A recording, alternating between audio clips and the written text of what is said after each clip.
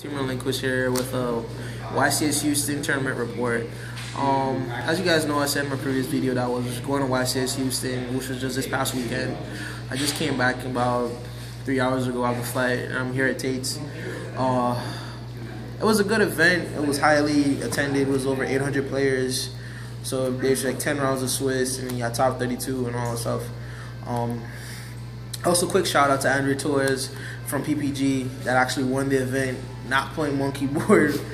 Um, that was a funny debacle situation, but um, the the tournament was quietly. It was a lot. It was a great, great tournament, great outcome. Um, I did play Artifact Monarchs, like I said I would. Um, um, the deck really hasn't changed that much. If not, it's still the same. But what did change was my sideboard. They got it ready for the YCS. Um, I did day two. Round one, I lost against Mermails. Game three, I braked super hard. Um, game two, played against Mermails. It was not Mermails. Uh, round two, I played against Monarchs, and you drew a draw. And then for the next five or six rounds, I went undefeated. Played against the Pepe and Draco Pals, and what the deck was designed designed for, it had no problem handling those matchups. But until round eight, I dropped another match against Draco Pal. Didn't try anything really. Then day two, played against a friend from from here, Florida, Nick Tarago. Well, shout out to Nick. Um, and last game three, didn't drop playable hand. So um, it was it was not bad, but it was a wonderful experience. Give me a bit outside about the deck and what is it to look forward to in the future. Um, as far for top 32, there were 13 Performapals that came out, which was I mean the banlist did come on the Friday and I was effective today Monday. So they, they went out all strong. There was one PK Fire, two BAs, five Kozmos, two Exceed Monarchs. Um, I want to talk about that for a little bit. Apparently there was a there's a new style of Monarchs where it's like Seeds where you play eat teleport, but the, the, the twist about it is you play Overdrive Teleport, which um, if people are not familiar with Overdrive Teleport, is when it's tribute summon, you can pay 2,000 life points and bring out two level 3 um, psychic monsters from your deck. So people are playing double Ghost Slugger, bring them out and just synchroning and doing all kinds of shenanigans with it. And then you had the regular Domain Monarch on top, one Atlantean Mermail that made it into top 16 and lost, and one Inferno player that pretty much he played against a bunch of a lot of BS today, that day. So um, that's pretty much it. The event was nice. Um, also went to the UDS. Uh, I leave it due to some circumstances, but um, pretty much it was fun. So um, I'll go show you guys the, the deck profile here. Like I said, I played our five Monarchs, and it's like how it was before. Three Ether, three Erebus. I really don't need to go too much into these cards. They're self-explanatory. Basically, the best Monarchs in the deck. Um, three Scythe. Now the key about playing Scythe is um, I'm playing Triple Sanctum as well, and this card is just really basically a. There's several ways I could pop it because I play double MST, one Ignition, and um, two Karaz because I could bring out the Karaz from the Ether and pop it. So technically, it's just it just it slows down my opponent and make so I can still have a card advantage also as slow them down from their turn because Performapals need their extra deck for them to continue playing. PK Fire, you, you shut them down, they open up no traps and have monsters. I practically win the next turn. I set up a board. So this card is just basically the. It, it, did its job for fairly for the entire YCS. It, it wasn't bad at all, really. Um, this is the worst card ever. I'm Karaz. Like most of the time when um when I was siding on my cards, I sided like, like three to five. I always side on one copy, and then game game two I'm seeing the one copy that's left in the deck. So I mean, it, was kind of frustrating, but I still managed to play through it. Um, as far as for the Vassals, that's it for Monarch, but these are the. Two Edea, two Eidos. Um, I did try playing three Edea, and that, it ended up kind of being really bad, really. So I just kept it at a 2-2 ratio. Um, changed. It's just the same, so kept it at that. Um, then last artifact, Monster vs. Moralltach. Monster got started out every game because it's really great game one, but game two we don't want to dry as a one of. That's all the monsters. Um, then go to spells, the Pantheisms, three German rush on fourth. Had to get how to get my foreign stuff. Um, three tenacity. Those the couldn't find anyone that had foreign rares, so had to stick with that. Kind of mad about that. Two domains. Three domains, my bad. Really, really great card. Just domain when domain gets MST by like um, Archfiend Eccentrick. This is just another. It's like it's a domain by itself, but it kind of it's a monster that could swing. So, I mean, it's just relatively great. Um, then we have two MSTs. This really wasn't bad because what happens is when I'm siding against the matchups, I take out one MST and put in double twin twister and the ignition. I take out the ignition and the MST because then instead of going for one for one, I'm going for um, two for practically. Um, one ignition, one for one, foolish, and return. Um, I was contemplating playing two for the YCS, but to be honest, one was just fairly good for all my matchups. Um, I won't bump this up to two, but um, that's practically what it is. As far as chop lineup, we have call, two prime, and three sanctums.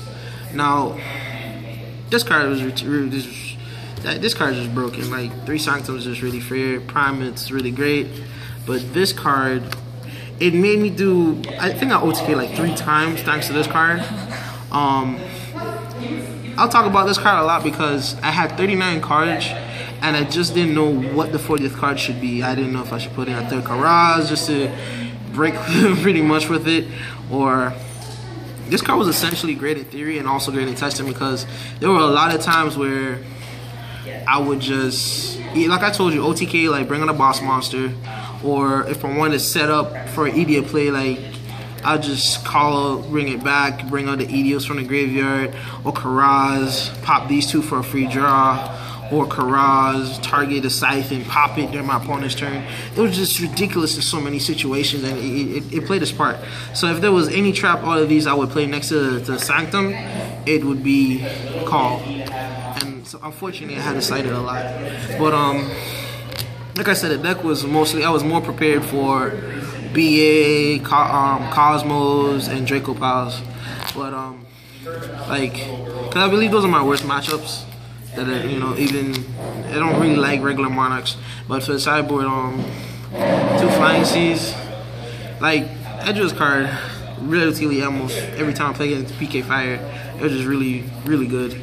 Um, two Ghost Ogres that was um I was playing two Gamma Souls before, but I put in Ghost Ogre because playing against Draco Pal was just really an incentive. I wanted to stop it, and if I drew it, it did its job. There's a couple times I didn't draw, I drew it and it was just dead.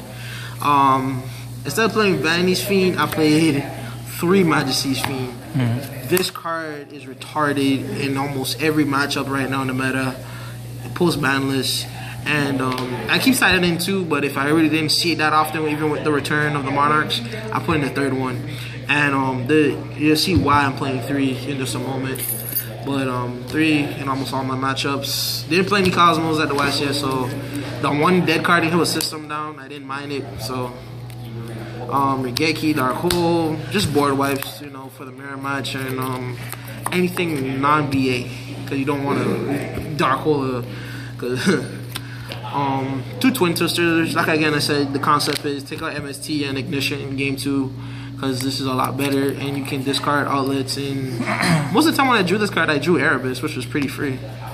Um, two Forbidden Chalices, really for the mirror match, because I don't have many ways like I feel like eight to nine cards in my deck that's not really suitable against the mirror match.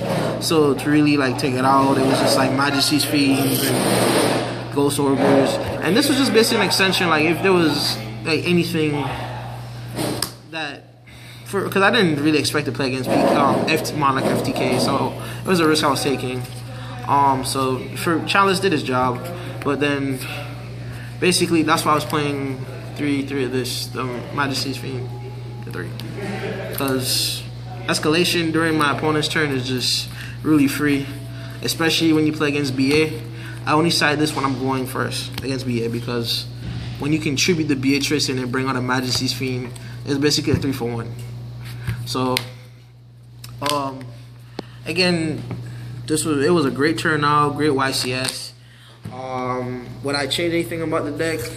Probably. There's a lot of changes I can make to it. But for YCS Providence, which is um, I'm 80 percent sure I might be going, I will not be playing Monarchs. or not. Most likely, I'm gonna test out BA, Kozmos, and probably Performapals and see what I can do because the deck's not dead.